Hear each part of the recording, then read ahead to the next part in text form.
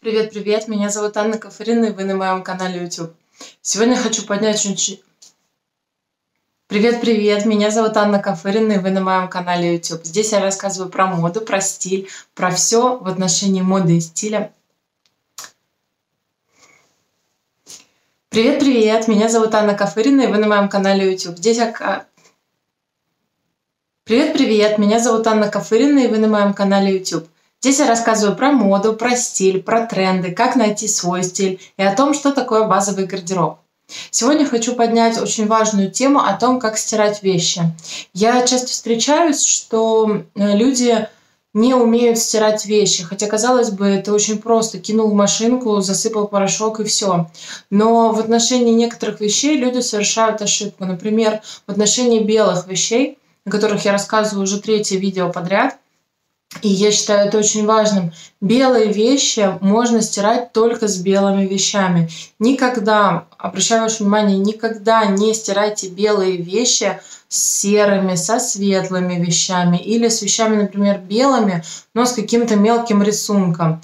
Объясню почему. Дело в том, что стирая белые вещи с какими-то другими, вы э, сокращаете срок жизни белой вещи, и она прослужит вам ну, как бы намного меньше, потому что и так белые вещи – это те вещи, которые мы меняем в гардеробе чаще других, потому что э, они быстрее приходят в негодность. На белом э, быстрее становятся видны катышки, потертости, э, под мышками от дезодоранта бывают пятна, которые не так легко вывести, а со временем их нельзя вывести совсем. Поэтому обращаю ваше внимание, что берегите свои белые вещи, относитесь к ним а, бережно, и они прослужат вам намного дольше. Что касается других вещей, черное я тоже рекомендую стирать отдельно от других вещей и добавлять а, в стиральный барабан машины добавлять а, жидкость для стирки черного, потому что таким образом эта жидкость позволит вам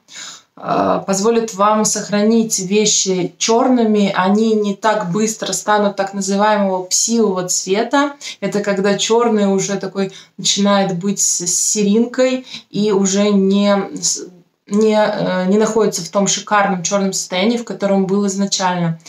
К остальным вещам а, гораздо проще а, все, гораздо проще их стирать, потому что ну, в принципе, цветные вещи вы закидываете в барабаны машины все вместе. Но тоже обращайте внимание, что светлые со светлыми, темные с темными.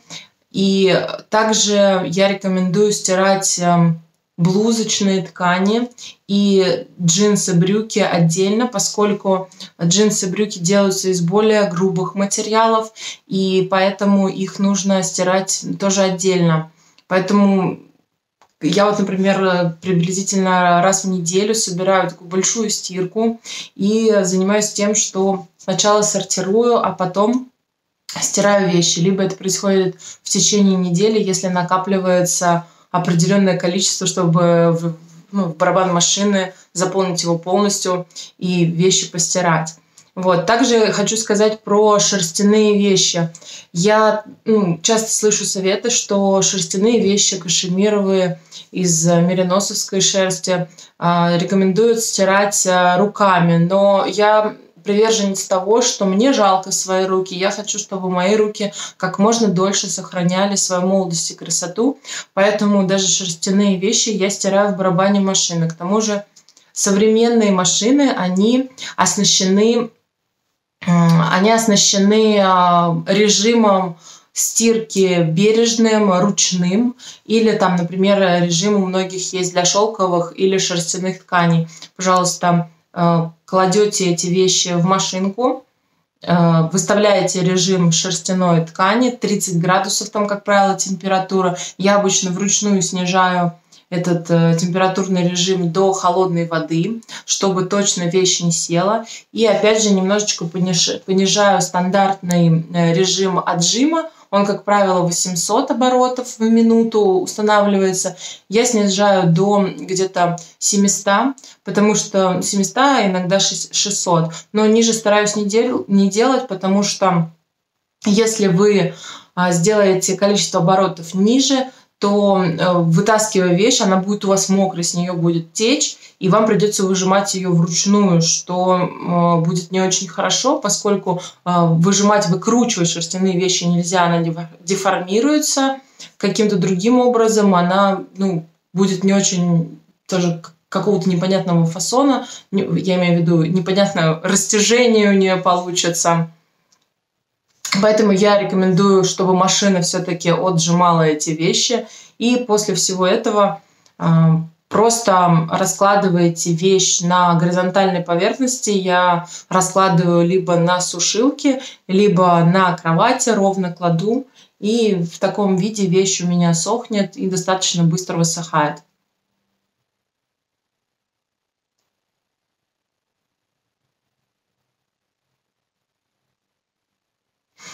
Еще один момент, который хочу рассказать вам про белые вещи. Иногда бывает недостаточно порошка обычного, даже если он а, какой-то ну, условно там тайт или персила с супер супер отбеливающий. Иногда этого порошка тоже бывает недостаточно, поэтому я использую э, дополнительные порошки, они называются именно отбеливающие. Сейчас вот мне в последнее время нравится порошок, э, не знаю, какой-то китайский, я понять не имею, что это за фирма. Вот, мне подарили. И этот порошок отлично отстирывает ну, какие-то белые вещи, дает им именно ту кристальную вот белизну, как морозную свежесть, которая была у них первоначально. Поэтому, если вы следите за своими вещами и хотите дольше сохранить их э, первоначальный вид, то всегда обращайте внимание на то, как и с чем вы их стираете. Обязательно читайте этикетки. На этикетках всегда есть значки, как стира- стирать какую-то вещь, как ее гладить, чтобы она максимально долго вам прослужила. Ну а если вам понравилось это видео, ставьте палец вверх, ставьте колокольчик, чтобы не пропустить мои новые видео. И увидимся в следующем видео. Пока-пока!